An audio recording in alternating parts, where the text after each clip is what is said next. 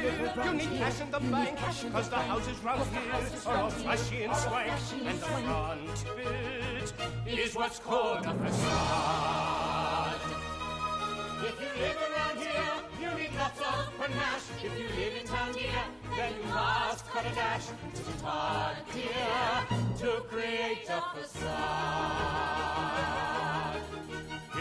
It's festive, but the guests are getting restive, cause the guest of honor's causing a dilemma. Dr. Jekyll tardy for his own engagement party, his betrothal to Sir Danvers'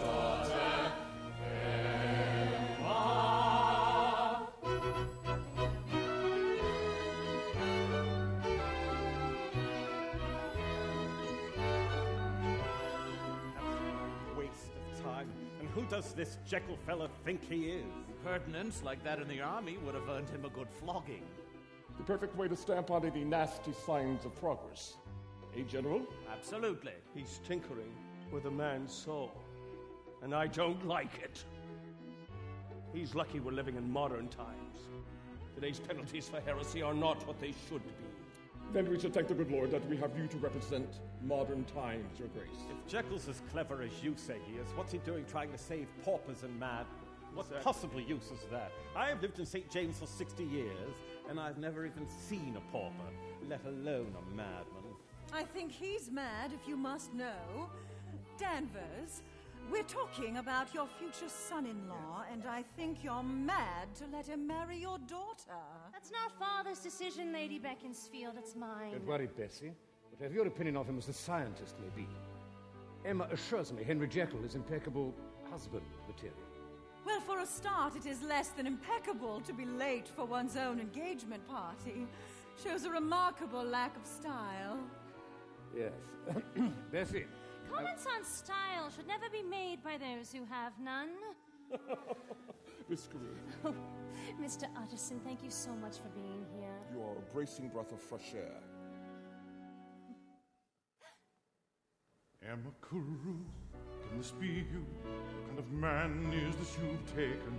Can you not see the kind of life that this would be? You are mistaken.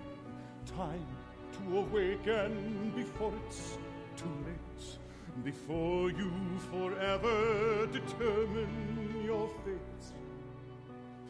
Simon, you knew I had to be free. What I choose to do is decided by me. From the day my mother died, my father, full of good intentions, treated me as though I were a young child. Maybe his idea was just to wait until I grew up and then look at me and hope that I'd be her. It's easy to accept that from a father. He'd rather things remain the way they were. But when it comes to marriage, I must pick whom I prefer. I am not the weak young thing you're seeking, Simon. Someone 17, obedient and sweet. I am not the protege to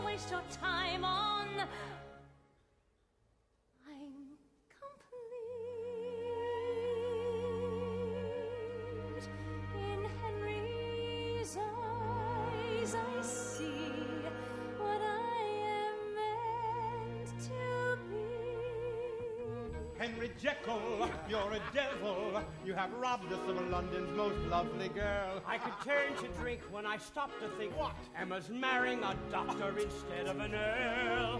Poor girl. ah, the late Dr. Jekyll. My apologies, Sir Danvers. Nothing to forgive, dear boy. Like Emma, I'm learning to anticipate you. We thought we might invite your wedding guests for the day after the ceremony, just to make sure the groom is in attendance. Never fear, sir, I'll be there. The six weeks to the wedding will be the longest of my life. Well, your half hour this afternoon with the governors of St. Jude's was certainly the longest of my life. I have to take every opportunity I am given, sir, to state my beliefs. Even though you antagonize the established authority in the process. But your friends are not the established authority, merely the established prejudice. Your friend... My friend. friend, Dr. Jekyll, is a man of honor, Sir Danvers. But not of diplomacy. Ah, I was not aware the two were incompatible. ladies and gentlemen, the fireworks. Fireworks! Ladies and gentlemen, do come along. Mr. Utterson, do you enjoy fireworks? If they're unavoidable. Yes, they are. Uh, Bishop, come along and have a glass of port. Yes.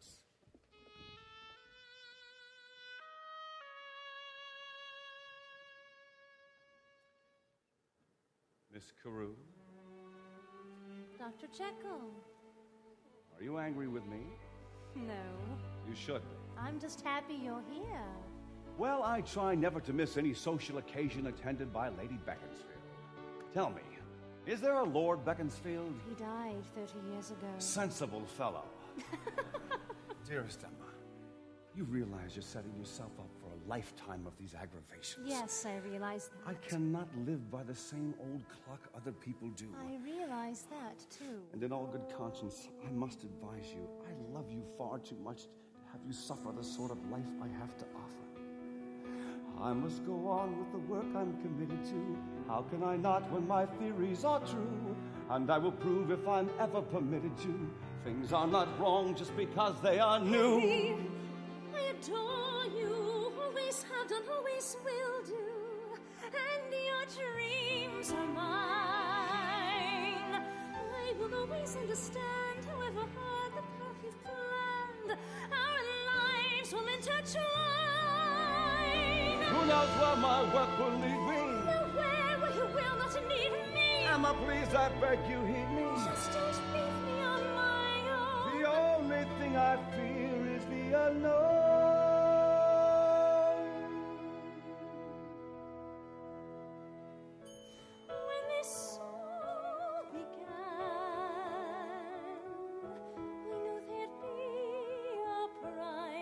Price